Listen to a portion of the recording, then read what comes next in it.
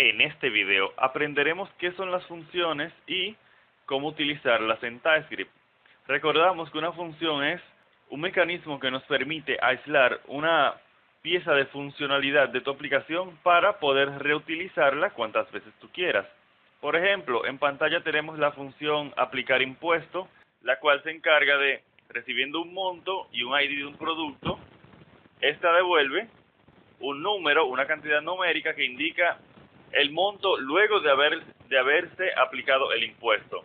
Entonces la idea es que yo tengo la función aplicar impuesto para que yo no tenga que tener por todo mi código la lógica de cómo aplicar impuestos, sino que yo lo tengo todo en un solo sitio.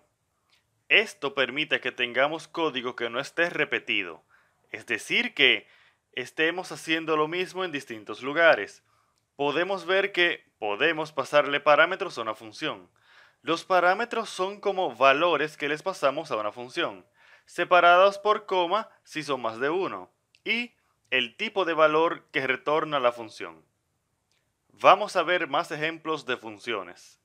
Para nuestro primer ejemplo tenemos una función que no recibe parámetros, por eso tenemos paréntesis vacíos posterior al nombre de la función y que no retorna nada tampoco. Cuando una función no retorna nada, decimos que es void o que es vacía. Es vacía simplemente quiere decir que no retorna nada. Puede tener claro algoritmos dentro de la función. Cuando decimos que es vacía es que la respuesta es vacía, no que la función como tal tiene un cuerpo vacío. Entonces, para invocar una función lo que hacemos es colocar su nombre y abrimos y cerramos paréntesis. Este es el ejemplo de una función sin parámetros. Para nuestro segundo ejemplo tenemos otra función que no tiene parámetros, pero que esta sí retorna un valor. En este caso tenemos una función que no recibe parámetros y retorna un valor del tipo número. Básicamente esta función se, se encarga de buscar la tasa del dólar del día entonces esta simplemente la va a buscar quizás en un web service o base de datos y va a retornar un valor.